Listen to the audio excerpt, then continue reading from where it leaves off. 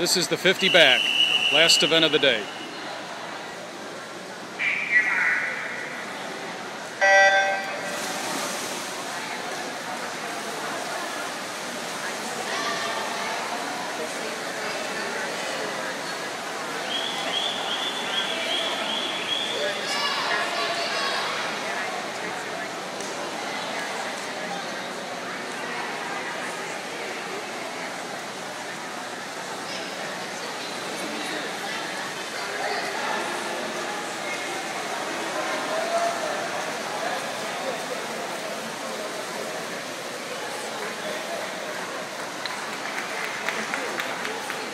We got him at a 32.29.